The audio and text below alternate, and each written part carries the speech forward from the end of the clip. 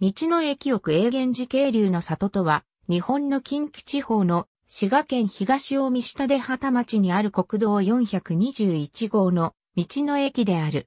滋賀県と三重県の県境近隣に所在する。施設は東近江市の出張所として利用されてきた旧永源寺町立万所中学校の校舎をリノベーションしたもので2015年10月10日に開業した。市の出張所と診療所は配置したままで道の駅が新たに設けられた。道の駅では地域の特産品の物販コーナーや観光情報を提供する情報コーナーが設置されている。石暮トンネルの開通で急増している中部圏からの来訪者への物販、情報発信や憩いの場などの道の駅としての機能だけでなく、防災や医療など地域の生活の拠点として行政機能やコミュニティ機能も兼ね備えている。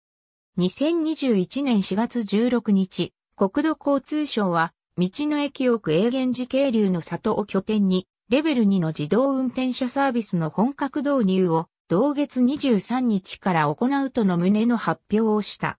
車両は、ヤマハ発動機株式会社の共愛区間の走行に適したゴルフカート型の小型自動車が用いられる。コミュニティセンター、市役所出張所、展示コーナー、診療所、軽食コーナー、物販、特産品コーナー、情報コーナーなどがある。また、無料 Wi-Fi スポットが整備されている。東近江で生産、または加工された商品のほか、永源寺こんにゃくや、万所茶、タラのメドの商品が並ぶ。記事市のふるさととして、木工作家が創作した作品なども店頭に並んでいる。ありがとうございます。